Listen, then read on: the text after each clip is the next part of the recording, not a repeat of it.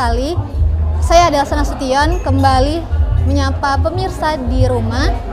Mungkin uh, kali ini sedikit berbeda karena saya berada di store kedua The Harvest terbaru yaitu di Jalan Kiai Haji Ahmad Dahlan dan kali ini saya tidak sendiri karena saya bersama Bapak CEO The Harvest Group yaitu Bapak Edison Manalu. Bapak selamat siang. Ya selamat siang Elsa. Apa kabar Bapak? Kabar baik. Terima kasih sudah mau mampir. Iya. Ini kali ber kali keberapa Bapak ke Kota Palembang? Kalau ke Palembang saya udah sering sebenarnya. Kalau Udah sering ya? kali keberapa udah nggak hafal. Oh berarti udah sering ya ke Palembang ya Bapak? Iya. Boleh sedikit flashback sedikit nih Pak, boleh nggak ceritain sedikit tentang The Harvest yang bisa berdiri sampai sekarang nih Pak? Iya. Mungkin eh, kita apa sharing kilas balik dulu ya. Hmm, Harvest itu berdiri tahun 2004. iya. Ya di toko pertama waktu itu ada di Jakarta, Hmm, tepatnya Jakarta Selatan di Jalan Senopati. iya. Itu awal toko pertama.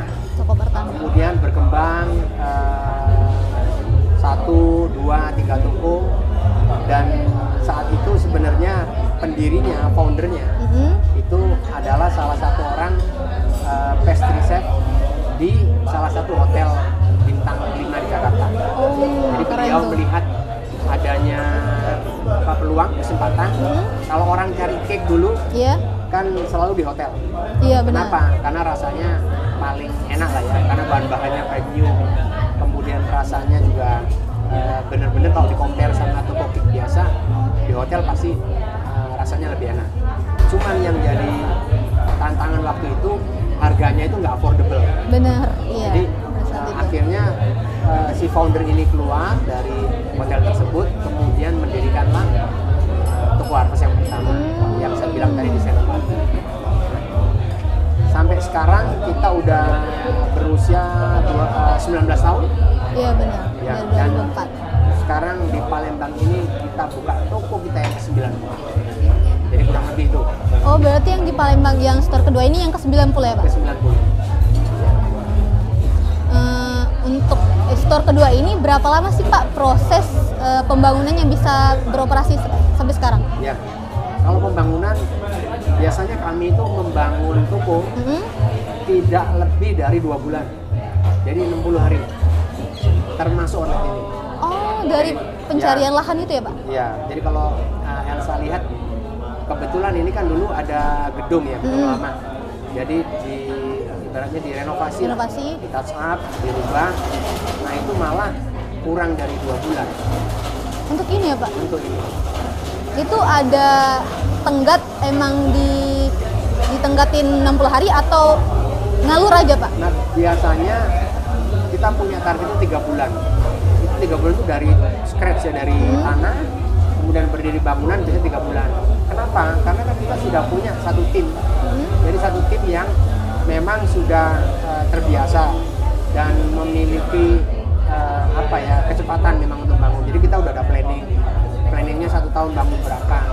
Kemudian di lahan yang kosong atau ruko atau lahan yang eh, bangunan yang sudah ada kita renovasi. Biasanya eh, mereka udah tahu persis lah. Jadi Oh, kayak iya. udah udah cukup eh, cukup Profesional ya Pak? Iya, Dalam profesional. membangun ah, benar benar. Dan yang eh, Elsa lihat ya Pak di store yang kedua ini agak sedikit berbeda dan Iya. lebih instagramable, lebih minimalis dan berbeda dari store-nya yang pertama di Sudirman. Benar. Itu ada alasannya nggak Pak? ada. Jadi eh, pada tahun 2019 Hmm? sebelum pandemi. Jadi saya eh, terjun memimpin company ini. Jadi ini di bawah eh, PT Monoskopus Indonesia. Hmm? Jadi 2019 saya melihat eh, pada tahun 2019 kan dari 2004 ke 2019 berarti udah 15 tahun. 15 saat tahun, itu. iya. 15 tahun saat itu dan awal berdiri katakan kalau customer loyal itu kan umurnya kurang lebih 25 Iya 30 benar. tahun Mm-mm. 15 tahun berlalu berarti dia umurnya udah 45 50 tahun Iya. sudah pasti model yang dibuat tokonya itu model yang eh, seleranya orang zaman Itu dulu, iya Ya, benar. kemudian kita lihat perkembangannya sosial media ada Instagram ada TikTok terus orang lebih ke lebih senang mengaktualisasikan diri mereka lewat eh, adanya pergaulan, eh, hal-hal yang trendy. Dan makanya saat itu kita coba adakan research di 2019. Eh, Kita tanya ke customer, yang kebetulan customer kita itu eh, kebanyakan memang eh, wanita. 78% itu kita female. Oh iya. Ya, jadi kita lakukan research, kemudian kita tanya kalau seandainya toko mau kita rubah, kira-kira warna apa yang mereka sukai. Oh. Karena dulu kan kalau Iya, iya, eh, Elsa ngeliat kan toko kita itu kesannya gelap, black, Iya. gold, Mm-mm. mainnya. Terus kemudian ternyata dari mereka keluar satu eh, apa usulan, warnanya rose gold, pink, makanya benar-benar kelihatan seperti sekarang. Cewek banget ya, Pak. Sebenarnya itu dari 2019. Udah direncanain. Ya, sudah direncanakan, model uh, risetnya sudah ada, model tokonya juga sudah jadi. Nah, 2020 bulan Maret Iya. kita buka toko pertama yang new new look seperti ini. Pada saat pandemi justru Oh, itu di kota mana, Pak? di Jakarta Oh. di Jalan Cempaka Putih. Ternyata sangat well accepted meskipun saat itu adalah pandemi. Iya, iya. Ya, nah terus akhirnya 2020 kita touch up beberapa toko. Nah, toko yang baru berdiri udah pakai model yang baru. Nah, Oh. Harvest yang pertama di Palembang Di Jalan Sudirman. Sudirman itu sedang kita renovasi. Oh iya, waktu itu Elsa lewat Atas, sedang ya. direnovasi, Pak. Ya. Berarti di Sudirman nanti eh, konsepnya kayak gini juga, Pak? Iya, persis kayak gitu. Hmm. Jadi ada uh, aku udah nyuluk, kemudian ada dine in di dalamnya. Jadi orang bisa duduk ada menu-menu nanti ada steak, ada pasta. Berarti sama seperti ini ya, Pak, Sama konsepnya. Pinky banget. Ya, Nah, untuk ya untuk dalam grand opening ini, Pak, eh, The Herpes nyediain penawaran apa aja nih, Pak? Ya, kalau uh, sebenarnya setiap opening kita ada beberapa penawaran khusus, Hmm. ada uh, buy produk, get free produk, kemudian ada beberapa kalau untuk trade member ada beberapa poin, Hmm. terus ada juga uh, harga khusus, kalau nggak salah di rotinya juga ada, di cake-nya juga ada. Saya rasa ada nanti uh, boleh diperjelas dengan tim marketing kita. Oh iya benar, Pak. Tadi saya lihat juga di depan katanya ada gratis kopi ya, Pak? Ya, benar. Itu untuk satu bulan ya, Pak? Itu satu bulan. Oh benar. Jadi buat kalian yang datang ke sini tuh asik banget karena bakal dapat free kopi setiap pembelian ke sini ya Pak. Oh iya Pak, kalau The Harvest ini dia cuman jual di tempat atau bisa beli online Pak? bisa beli online. Jadi eh, kita selain orang datang Mhm. offline, Mhm. kita juga bisa pakai eh, eksternal online. Eksternal online karena eh, kayak Grab, Gojek, Oh itu bisa ya Pak? Shopee Food kita bisa dan juga bisa pakai eh, kita punya aplikasi. Oh The, The Harvest punya aplikasi Ya, nih Pak? kita punya aplikasi yang keuntungannya adalah harganya persis kayak harga offline. Oh nggak ada biaya tambahan kayak Tidak yang di aplikasi lain itu ya Pak? tambahan di aplikasi lain. Oh. Jadi kalau mau hemat ya pakai aplikasi kita. Aplikasi itu eh, available semua eh, di seluruh store ya? Iya. Termasuk. Palembang? Oh. Termasuk Palembang. Dan juga kita ada uh, member, kita ada membership Mhm. tanpa dipungut biaya apa pun hanya uh, download di website kita, kemudian daftar. Di situ nanti setiap pembelian kita berikan poin. Nah poinnya bisa ditukar dengan produk, juga dengan merchandise. Uh, biasanya ada beberapa penawaran merchandise juga kita berikan. Tuh dengar eh, The Harpes eh, nyediain promo banyak banget yang menarik buat eh, membership The Harpes Cake ini. Kalian nggak tertarik apa untuk eh, menjadi membership di The Harpes ini? Lanjut Pak, eh, untuk aplikasi The Harpes itu udah berjalan berapa lama Pak? Baru atau udah dari awal ada The Harpes? Sudah kalau kita dari aplikasi itu udah Hmm. 2021 akhir ya. Itu udah ada aplikasi ya Pak? Iya, sudah ada aplikasi. Itu nasional udah la- Nasional. udah jalan. Oh, Udah jalan. keren banget nggak tuh udah berjalan dari untuk nasional. Misal nih Pak, eh, saya punya temen nih di Jakarta, saya mau beli India itu bisa nggak lewat aplikasi? Sangat bisa. Oh bisa ya Pak? Bisa. Jadi eh, mau kita kan ada hotline juga. Hmm? Hotline aplikasi misalnya Elsa punya temen di Bandung Iya. ya bisa aja lewat aplikasi kita atau nanti lewat call center kita. Ada call center kita. Oh, untuk call center yang di daerah pas daerah sana ya, Pak? Ya, eh, ada ada nomor call center kita itu eh, kita punya satu hotline khusus. Nanti Oh. hubungin ke sana. Mm, mm, mm. Tinggal bilang mau dikirim ke mana. Nanti oleh call center kami akan di dispatch ke toko tempat Terdekat. produk yang Mbak Elsa mau kirim. Oh, keren banget nggak pemirsa tuh. Jadi buat kalian yang punya teman di luar kota itu nggak usah takut lagi kalau mau beliin the harvest buat kado ulang tahun atau cake ulang tahun mereka. Lanjut nih Pak, Eh, eh, terakhir sebelum berakhir nih Pak, Ya. eh, ada nggak pesan-pesan buat anak muda Ya. yang takut atau bahasanya tuh insecure nih Pak Ya. mau buka usaha? Oke sebenarnya begini. Eh, kalau untuk teman-teman ya eh, anak-anak muda, kemudian orang-orang yang mau eh, sedang berusaha untuk memulai bisnis, pertama itu jangan pernah eh, ragu. Hmm, Nah supaya nggak ragu, mau nggak mau hal yang harus dilakukan adalah kenali dulu market produk apa yang mau kita jual itu dulu. Terus marketnya siapa? Jadi mesti jelas dulu. Jadi jangan oh saya mau usahain tapi nggak jelas. Oh iya. Mesti diperjelas adalah oh saya mau usaha produknya untuk market siapa? Marketnya dulu dulu. Usaha tahu bahwa marketnya ini produk yang mau dibuat adalah A, misalnya sudah tahu. Nah, kemudian baru bandingkan apakah ada produk kategori sejenis di eh, di pasaran.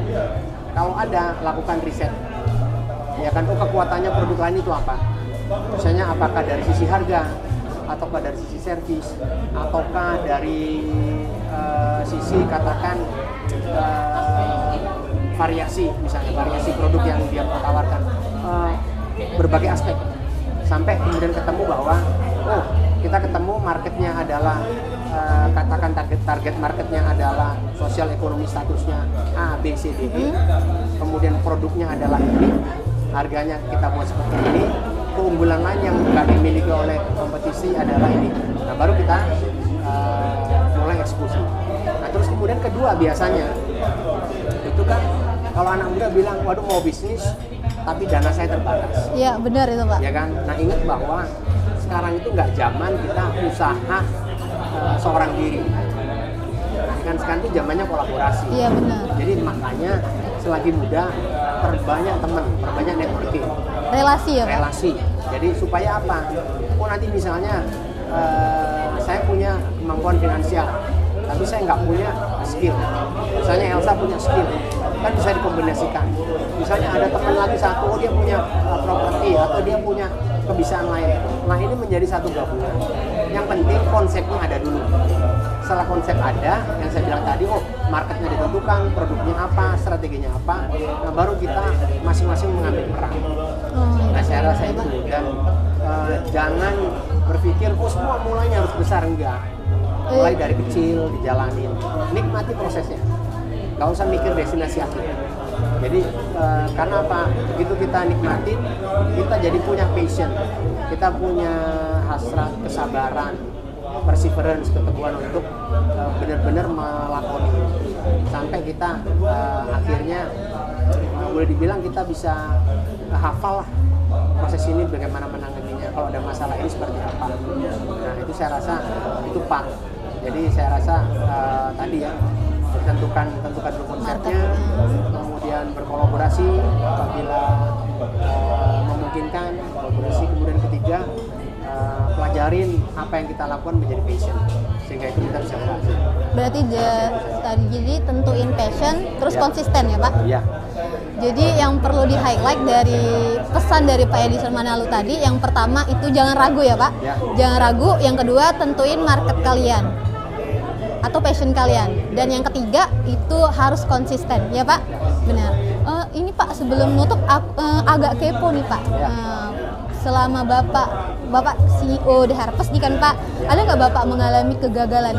Maksudnya kegagalan cerita kayak Bapak tuh cuma punya dua pilihan, tutup atau Ya. sempat ada pikiran tutup gak gitu Pak? ya nggak ada Gak ada ya? jadi gini eh, kalau dibilang orang nggak pernah gagal itu nggak mungkin Benar. gagal itu ada cuma bagaimana kita eh, bereaksi terhadap kegagalan kalau menurut saya eh, kegagalan itu sebenarnya adalah bagian dari pembelajaran. Jadi jangan oh gagal terus kita hanya merenungi kegagalan itu. Enggak. Gagal itu kenapa? Gagal itu ada karena ada sukses. Iya, ya kan? benar. Nah, di dunia ini selalu ada yin yang jadi ke kesetaraan keseimbangan. Kalau ada gagal kenapa? Kan ada sukses. Ada takut karena apa? Ada berani. Jadi menurut saya gagal itu bagian dari sukses justru dengan gagal kita bisa eh, mulai memikirkan lagi menganalisa kok kenapa ya kok sampai bisa begini? Karena itu ongkosnya mahal. Justru dari situ kita eh, menemukan tata cara metode untuk telah meraih sesuatu yang kita eh, apa ya atau kita sebut kesuksesan tadi. Cara saya itu.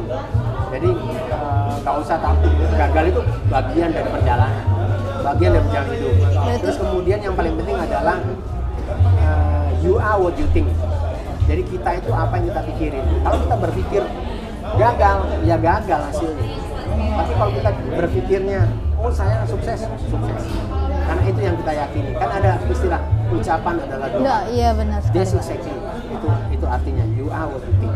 Jadi kalian itu apa yang kalian pikirin. Jadi begitu kurang lebih. Berarti tidak ada kesuksesan tanpa kegagalan ya, Iya, Pak? pasti. Nah, jadi yang perlu di-highlight tadi dari omongan Pak Edison adalah tidak ada kesuksesan tanpa kegagalan. Baik, eh, terima kasih.